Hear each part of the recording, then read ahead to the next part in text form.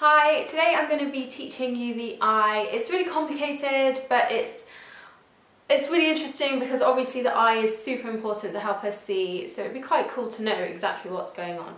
It's really important that you know how to label the diagram, so have a find a good diagram, make sure you've got all those labels sorted and make sure you've spelled them right.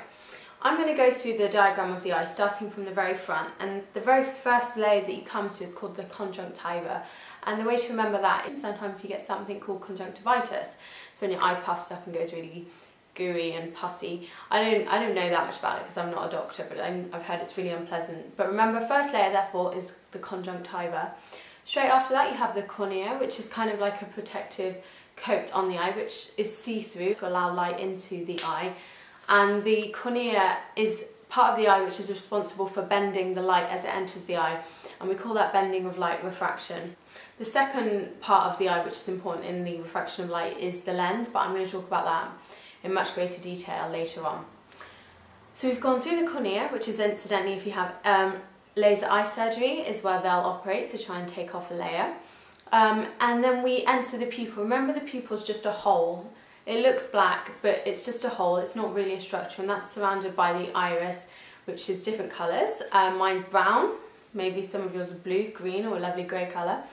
Um, and all that is responsible for is it has muscles called circular and radial muscles and they control the size of the pupil.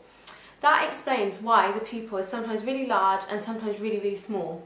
So the circumstances when it's really large is when you're in very dim light and that's so that you can allow as much light into your eye as possible so your pupil expands to allow that to happen. In that situation what you find is the radial muscles constrict which means they shorten which therefore pulls the pupil wider and makes the pupil's diameter much larger. Times when you want your pupil to be really small is in very bright light when there's much less need for loads of light to be entering your eye and if it was allowed to do so then it might actually damage your eye. So in that case your pupil will be really small and that's when the circular muscles constrict and therefore the pupil becomes much much smaller. So we've talked about the circular and radial muscles of the iris and now light has entered through the pupil and it passes through the lens. And the lens is like a lens in a pair of glasses or in a magnifying glass. It has a, a specific shape which allows light to be focused and it will have to vary how fat or thin it is to enable light to be focused by differing amounts. Accommodation is simply the fine focusing of the eye and that's when the lens changes shape to allow the light rays to converge on the retina in the correct place. So in a situation where you're looking at an object really close to, what will happen is your ciliary muscles contract, your suspensory ligaments become slack and that enables your lens to become short and fat so that the light rays which come into the eye, they're bent very strongly by the lens. Let's take another situation.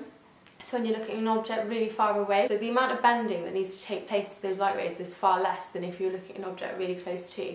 So in that situation you find that your, your ciliary muscles relax your suspensory ligaments become very tight, they become taut, and that pulls your lens really long and thin.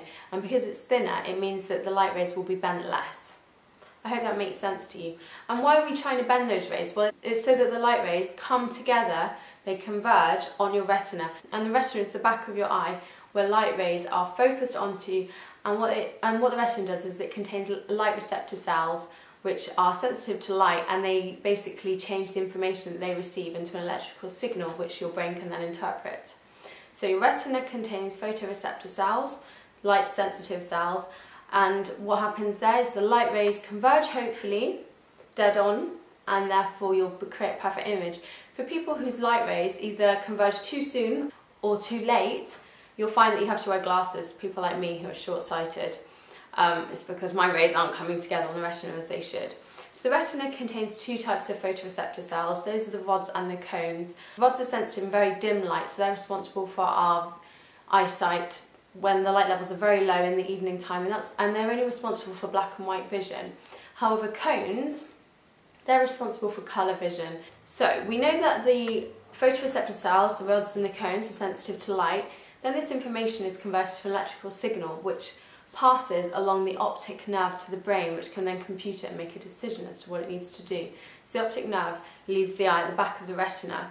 And where the optic nerve leaves the retina, you'll find that there's a blind spot, which kind of makes sense really, because if you have a nerve poking into the back of the eye, you can't really have rods and cones found there because it's impossible because there's an optic nerve in the way.